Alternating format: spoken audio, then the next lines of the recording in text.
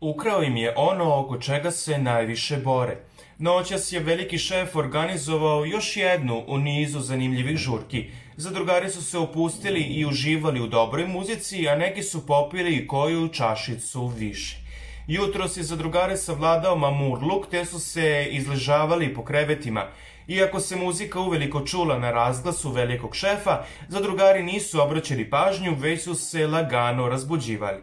I dok su oni i dalje bili pospani, nisu mogli ni da naslute šta se dešava u dnevnoj sobi. Više puta smo čuli da se svi u zadruzi bore za kadar pod znacima navoda i da čine razne stvari ne bili ih usnimila kamera popularnog realitija Zadruge 3. Međutim, dok su se oni razvlačili po krevetima, kadar je ukrala novogodišnja igračka iz koje iskače niko drugi nego Deda Mraz.